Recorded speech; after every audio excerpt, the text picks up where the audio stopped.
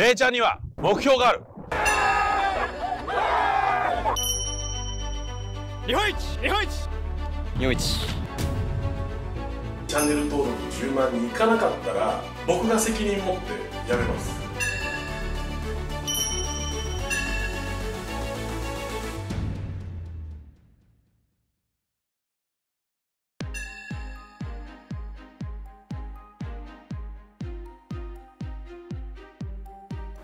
で有名になりたいっていう気持ちが一番強い人、まあ、こういう人を僕は採用していきたいなと思ってます。もうたくさんアピールできるところはアピールしてください、えーそれでは1回目の、えー面談を始めていきたいと思います。よろしくお願いします。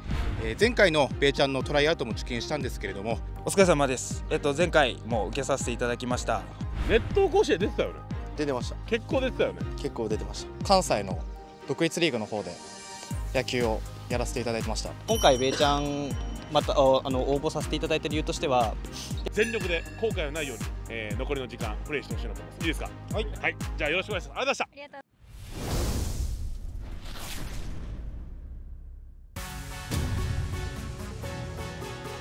えーそしたら3組目の、えー面談を始めていきます。よろしくお願いします。よろしくお願いしごます。それでは右後ろの方から順番に大きな声で自己紹介お願いいたします。と岩手県から来ましたと年齢は21歳の千葉春樹です。と高校は岩手の一関学院で野球やってました。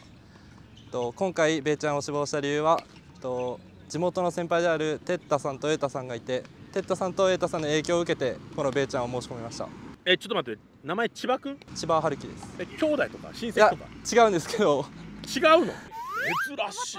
たまたまなんだ。たまたまです。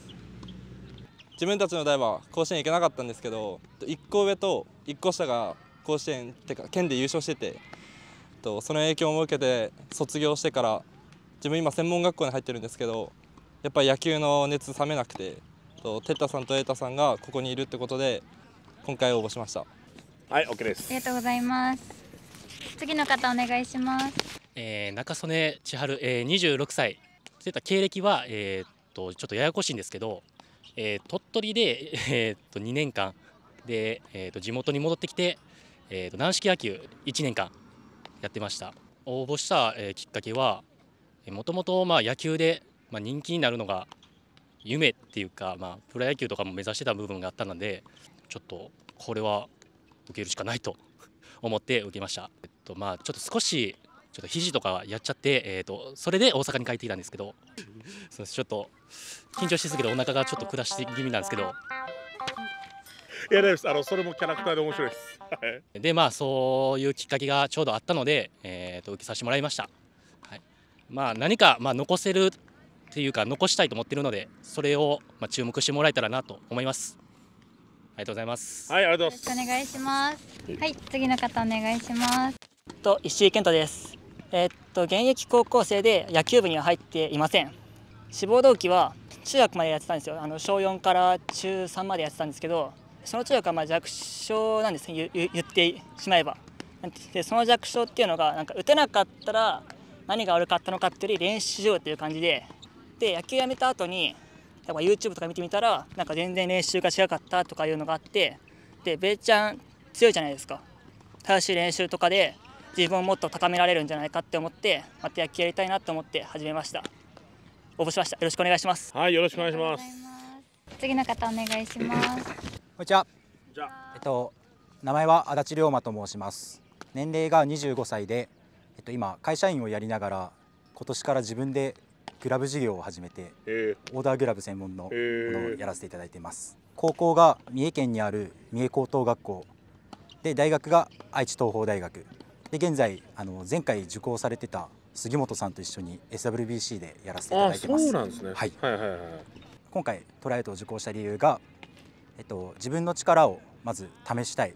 どこまで通用するんだろうっていう興味本位が一つ。でもう一つがグラブ事業を始めてその NPB のプロ選手と関わることが増えてトップアスリートの人たちの刺激を受けて自分もさらに上を行きたいと思って挑戦させていただきました。以上です。はいありがとうございます。お願いします。はい。次の方お願いします。こんにちは。こんにちは。と名前が森光大輝です。出身高校がえっと千葉県の鎌ヶ谷西高等学校という高校でやって野球を3年間やっておりました。と経歴は、えー、と小学校から高校生までやっておりました米ちゃんを志望した理由はもっと上を目指したいという志があってそれで日本一を取りたいっていう自分の気持ちもあったので志願をしましたこの極太眉毛でちょっと僕はアピールしてでそれで極太眉毛では何もアピールできない いやでもいいですよいいですよで今日短い時間ですけど、まあ、全力で頑張っていきたいと思いますのでよろしくお願いしますはいよろしくお願いしますはいでは次の方お願いしますこんにちは。こんにちは名前は石井亮大です。年齢は18歳です。出身校は神奈川県の商工高等学校で3年間高校野球してました。で、ベイちゃんを志望した理由は兵藤さんに3月頃1回会ったことがあって、それ話した時にあの兵藤さんのもとで野球したいなと思って志願しました。あともう一つは視聴者を笑顔に笑顔にしたいと思います。で、野球はあんま上手くないんですけど、もっと上手くなれるように頑張りたいと思います。頑張りたいと思います。よろしくお願いします。はいよろしくお願いしますじゃあちょっと一人ずつ質問させてもらえたらなと思います青10番の方はい3月俺と会ったらどこでしたっけあったの？東京ドームシティの。あそうだそうだ思い出した。あ全部思い出した。コナミのイベントだよね。そうです。はいはいはいはいはい。それでお会いして、やっぱ体もでかいし身長も高くて。これ今ディスられましたもんいやディスってはないです。そうそうそうそう。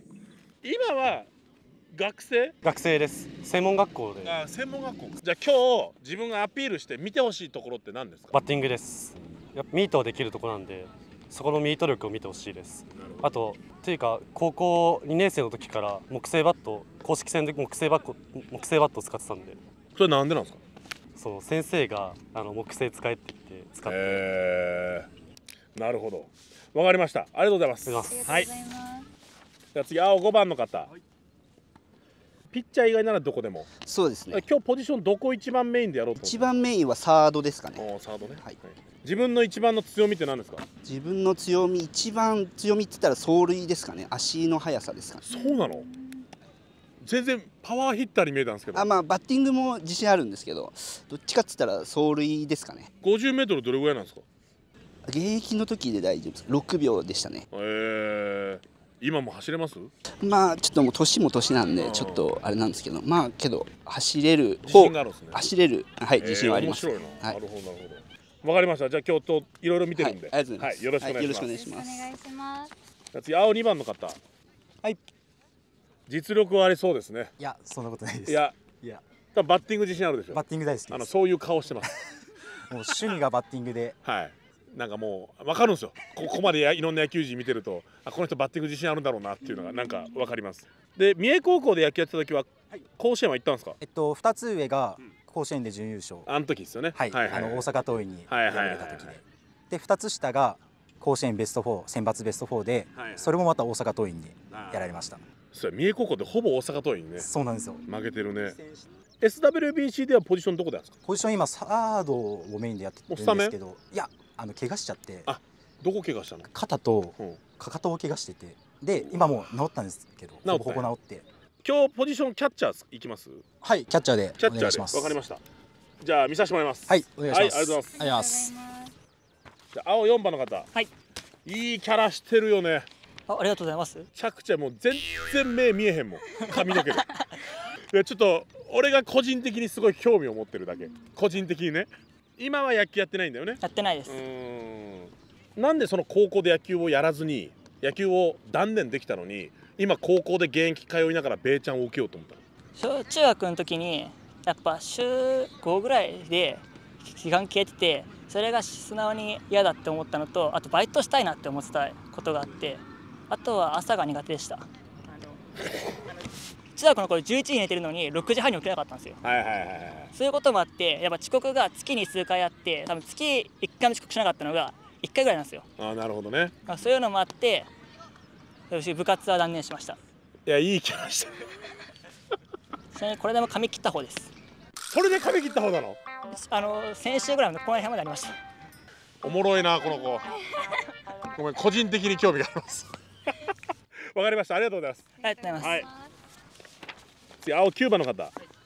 えっとちょっと聞きたいですが鳥取で2年間やった後地元の通信に来たらなんか理由があったんですか？その時にちょっと肘がおかしくなっててあとまあ個人的なちょっとごたごたがあってまあそれならもういっそのこと帰った方がいいかなななんでえ地元はどこですか？地元は大阪です。大阪から鳥取の高校になんで行こうとしたんですか？えーっとお話をいただいて高校にちょっと推薦の方で高校名は？米子松陰っていうところ。あ米子松陰ね、はい。あ強い強い強い強い強い。今日ポジションはどこで行きますか？うーんまあサードで行かせてもらいます。サードで。はい。自分の一番の売りなんですか？とまあ守備とバッティング左のバッティングです。あ両打ちか。そうなんですよ。なるほど。お願いします。お願いします。はい。ありがとうございます。じゃあ最後青3番の方、一ノ瀬学院。はい。そこでエースだったの？1番は何回か地区大会とかしょったことはあるんですけど最後の夏の大会は2番手でした2番手だったんだ。マックスは？草野球始めてからガンであんま測ったことなくてあ現役の頃でいいですよ。と39か40は出てました、今日投げれますか？投げれます。自分がベイちゃん入ったらどこでレギュラー取ってどういうポジションで活躍していきたいですか？あ絶対ピッチャーで日本一にします。でもピッチャーって瑛太っていうあのモンスターみたいなエースがいるんですけどそこからレギュラー取る自信はありますか？瑛太さんと地元で地元一緒でと1回だけ同じチームでやったことあるんですけど本当に速くてとベイちゃん受かったら瑛太さんといろんなこと聞きて聞いて瑛太さんを超えれるように頑張りたいです。じゃあちょっと今日ピッチング見させてもらいます。はいお願いしますはいということでじゃあ面談は以上となりますので、えーこの後怪我のないようにだけお願いします。ありがとうございました。ありがとうございました。何そのサッカーみたいな服。これビームスと Z のコラボなんですよ。ビームスと Z のコラボ、何これめっちゃ涼しそうじゃないこれ。めっちゃ涼しいです。すっごい暑いんですけど着替えたら快適。なんか垢抜けたね 本当ですか？う。んしかもこれ M サイズでね。一人あるんです。すごい着心地いいです。それどこで買ったの？ベースボールタウンです。ベースボールタウン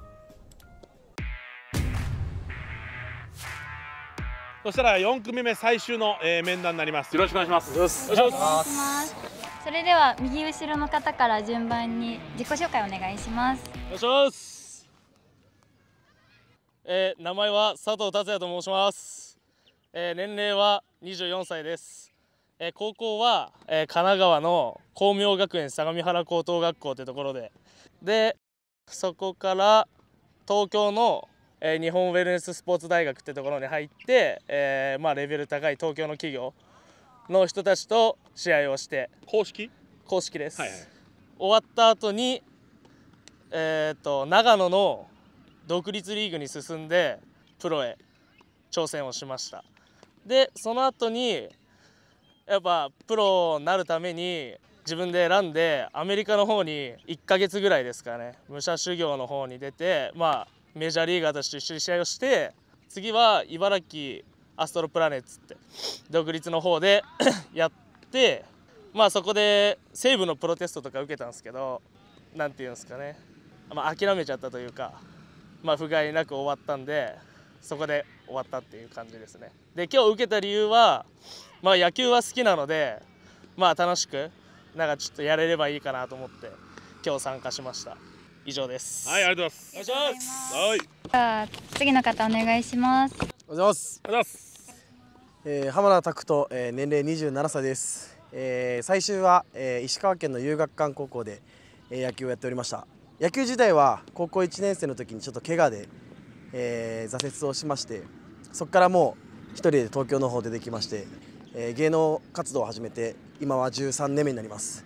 今はもう裏方で舞台であったり映画であったりっていう部分をプロデュースする側に回ってるんですけど、まあ、その中で、えー学童野球のコーチを何年か45年やってたり、まあ、そのゴリラクリニックさんのお手伝いとして、えーサポートメンバーでちょっといろいろ手伝いさせていただいたんですけれども YouTube を見てなんか熱いなと本気で日本一目指してるなっていうその環境がやっぱ好きで僕自身後悔後悔後悔の人生だったんでまあ1回ぐらい本気の環境で自分がまあ上手くないですし欠けてるものはないんですけどただまあ自信は一つだけあってまあその声であったり野球の野球感野球の脳ずる賢さであったりっていう部分はちょっと負けないなっていう自信はあるので、まあ、ベイちゃんのくせ者になりきました。はい、えー全力でやれたらだと思っております。よろしくお願いします。はいよろしくお願いしますお願いしますでは次の方お願いします、こんにちは。こんにちは。えー佐藤弘隆と申します。えっ、と年齢が24歳です。高校が山形県にある山形中央高校になります。2年生からレギュラーとして出させてもらって、2年生3年生とまあ一応決勝まで進んだんですけど、まあ一歩で甲子園に出れなかったっていう経歴です。まあ僕はそのそこで野球の方はあの引退した形になるんですけど、ペイちゃんの活躍あの拝見させてもらってたんで、まあ、今回あの楽しく野球できたらいいなと思って参加しましたよろしくお願いしますはいお願いしまよろしくお願いしますでは次の方お願いしますはい、よろしくお願いします。えー、峰博士と言います。えー年齢は34歳、えー職業は漫画家をしています。で、えっと旧暦なんですけれども、えー福岡県立宗像高校の野球部から、えー京都大学の硬式野球部を中退しました。えー高校時代は、え1回戦負けで、大学時代は、えーと最終的にはノックを打ってたんですけれどもあのゲーム前ノックでスタンドに放り込んでこう場を効率化するっていう苦い思い出がありまして、まあ、ガチの野球をやってたっていう思い出はそこが最後で、えーそれから、まあ、草野球という形でずっと野球をしています。で今回ベイちゃん、えーこのトライアウトに志望させていただいた動機があのこの夏に私あの野球漫画の読み切りであの鉄兄さんにも出ていただいている作品が夏の甲子園時期に公開されるんですけれどもそのぐらい鉄兄さんが好きで好きでたまらなくて今日もちょっと愛が止まらなくてここまで来ちゃった。と まだ言うんですかそれ。はい。4回も拾ってもらってはいえーその理由が一つ。えーもう一つはあのちょっと漫画業界の中でドカベンの作者の水島新司先生がまあ、本人が言われて周りから言われてるっていうような形でプロの草野球選手っていう言葉がベイちゃんよりも前に出てましてそうなんですよ。それでこのリアルで実際にプロの草野球っていうチームがベイちゃんで動き出してで日本一になって今年は縛りルールもつけてっていう形でどんどんこう大きくなっていく中で漫画業界としてこれを黙って見過ごしてていいのかっていう気持ちがありまして、えー勝手に漫画業界を背負って今日は挑戦させていただきます。はいわかりました、はい。ありがとうございます。お願いします、次の方お願いします。えー、と年齢は24歳です。名前は古谷旺生です、えー出身高校は花巻東高校になりますね。で、えー花巻東高校から、まあ、あのベイちゃんでいる千葉瑛太と一緒に、えーそこからトヨタ自動車東日本へ進んでそこからあの3年間ややった形で独立リーグの信濃グランセローズに進んで去年まで3年間やってました。僕のあの特徴としましては走攻守なんですけどもそのその一つはあの足なんですよ。ちょっと試合見てたんですけどあのチャンスメイクする人が少ないなっていう拝見したんですよね。であの456番とかすごいあの強打者が揃ってるので本当に僕みたいな一番バッター選んでくれたらもっと勝ち上がれます。なそのあんたでもいいよみたいな。もっと勝ち上がれます。そうなんです。なのであの調整しに来ました。わかりました。はいよろしくお願いします。はいありがとうございます。次の方お願いします。えー小野寺亮と申します、えー年齢は30歳で野球歴は、えっと、小中高です。で、えっとえー高校は、えっと、岩手のあの水沢商業高校っていう、まあ、あの無名ではあるんですけどもあの今をときめく大谷翔平選手が負けた高校にそのあの最後の大会はあのベスト16という形まで行きました。応募理由としましては今までその野球で日本一を目指せなかったので環境を変えてあの日本一になりたいと思って、えー応募しました。でよろしくお願いします。はいよろしくお願いします。お願いします。じゃあちょっと一人ずつ質問させてもらえたらなと思います。じゃあ緑10番の方から。でメインのポジション今日はどこで受けようと思ってましたか？サードでお願いします。サード多いな今日。サード多い。なるほどなるほど。ショートもできます。ショートもできる、でちょ今日ノックショート入ってもらっていいですか？わかりました。はい。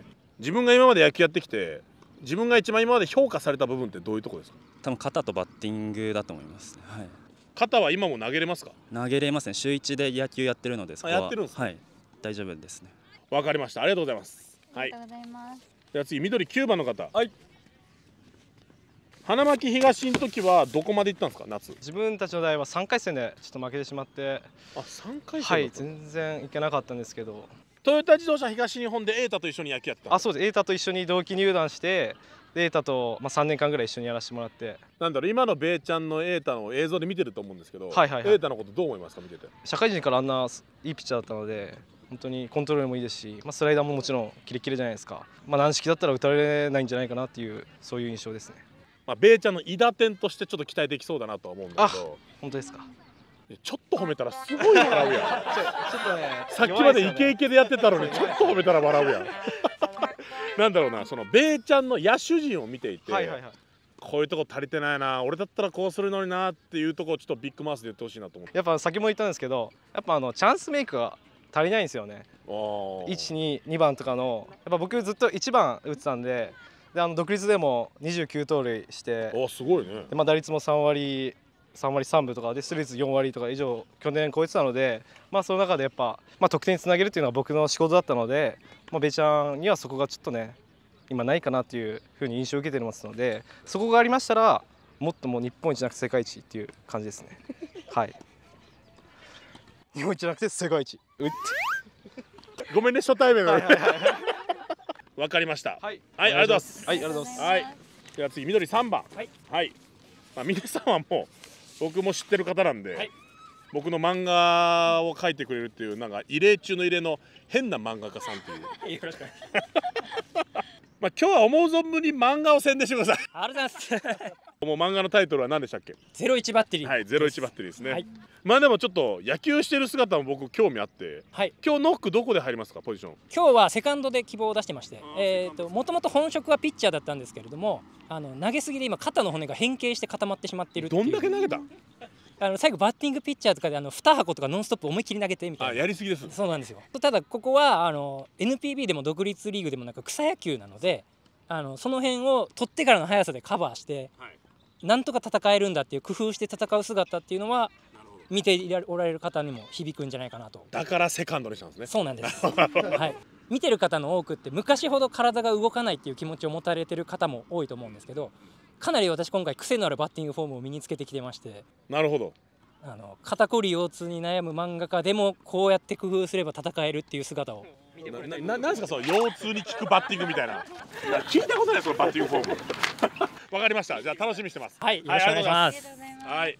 じゃあ次緑6番。はい。山形中央高校、はい。2年からレギュラー、はい。実力者じゃないですか。いや全然。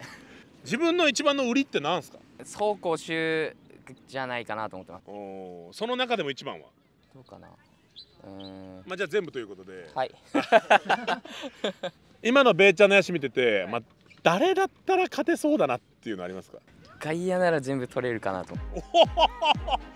外野なら全部取れる？はい。やばい。元プロがいたり侍ジャパンの日本代表のキャプテンいたり甲子園でバンバンホームラン打ってるやつがいたり、侍ジャパンのメンバーいたりする中でも、僕なら、外野で、どうなの？無理です。おい！せめて言うてくれよ。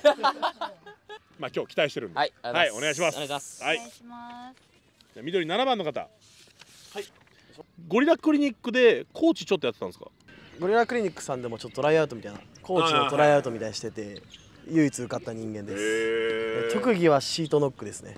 なるほどなるほどなるほど。打つ方ですね今はこれ仕事は何されてるんですか？今はちょっとまあいろいろ個人でやってるんですけど、はい。それこそ舞台であったりあのアイドルやったりっていうのをプロデュースしたりキャスティングしたりしてる反面ね。夜はサパーでワシャワシャしたりっていう。ああイケイケのおじさんだ。おじさんじゃないですよ。まだ27なんで。あそうかそうかまだいけるっすね。まだいけるっすね。野球にどういうところで後悔したんですか？なんか変なとこで意識高くなっちゃったり変なとこでなんかボケたりみたいななんかあやふやな人生で。ただなんか日本一っていうなんかちょっとトトップ取りたいなっていうそういう環境で身を任せてやりたいなっていう思いがめちゃくちゃあったのでそれこそ昼の業界でも今まあ夜の業界でも野球でも全部ちょっとトップ取ろうかなっていう部分があってきました。じゃあ今日ちょっとバッターボックスの中でそのくせ者ってさっき言ってたんでそれを全面に出してあそうです。もう肩こりと腰痛に効く。おい真似すなよ。承知してきたんで。ただの盗っ人や。んくせ者でも何でもなかった。はい楽しみにしてます。よろしくおあ願いしりがとうございます。じゃあ緑8番の方。はいお願いします。はい。西武のプロテストを受けたってことなんですけど、まあそこで受からなかったってことで自分が思うに何が足りなかったと思いますか？僕、まあ、こんな体してるんで比べられるのが、まあ、西武で言ったら山川とかなんですよ、はいはい。でその将来的一軍で活躍する選手ってなったらその山川ぐらいの、まあ、筋力だったり出力必要なんですけど、まあ、そこに満たなかったというかっていうところでダメだったんですかね。自分のバッティングスタイルってどういうスタイルだと思ってます？全打席ホームラン狙うことですね。あいいですね。はい。いやもうそれしか狙ってないっす。ベイちゃんは見たことありますか？ないですない。いやそれがないんですよね。すいません。なんかみんなさっき見てるって言ってたんですけどちょっとなかった。いやまあ全然いいんだけど全然いいんだけどいやベイちゃんを見てなくてもなんだろうな。自分が草野球をまだやったことないでしょ多分。あんまりないですねそのはい。じゃあ草野球入って自分だったらどれぐらいのバッティングができるだろうなみたいな。まあ1日2本ぐらい打てるんじゃないですかね。打ちすぎやろ っていうのはまあ冗談であの打てるか打てないとかじゃなくてなんかもう自分が楽しくやれればいいかなってはいはいはい感じです。はいわかりました。楽しみにしています。はい。はいありがとうございます。ありがとうございます。楽しくやらせていただきます。はいありがとうございます。す。ということで面談は、えー以上となりますので、えーこの後怪我なくプレーしてください。最後に一言いいでしょうか、はい、あ何ですか？はい、はい。どうぞ、えー、ベイちゃんには今2つの未来があると思ってます。ほここに来られてるたくさんの実力者を合格者にして、えーこのまま強いベイちゃんとして日本一になる未来が一つ、はい。もう一つは、えー34歳肩こり腰痛に悩む漫画家を抱えながら試合に出しながらも日本一になるベイちゃんという未来。はい。どっちの未来がかっこいいでしょうか？私はかっこいい選択をしてくれることを信じてます。以上です。まあそこで一つだけ言うとまず、えー両かかと痛めて、えー腰カチカチの肩と肘を痛めた監督が試合でながら今やってます。もうすでに1名抱えてます。まあそんな中でもね一生懸命プレーを見せてもらえたらなと思うんで、じゃあ今日もよろしくお願いします。よろしくお願いします。まあでも本当に、えー前回のトライアウトに比べたら本当にみんなが入りたい意欲というかこう熱意がすごい伝わってきたんででもちゃんと経歴もある人たちが集まってるんでちょっと楽しみですね。あと思いのほかピッチャーが多かったです。だからすごい見たいですね。で左投げも多いんで、まあ特にポンスケ注目してみたいなと思います。はい。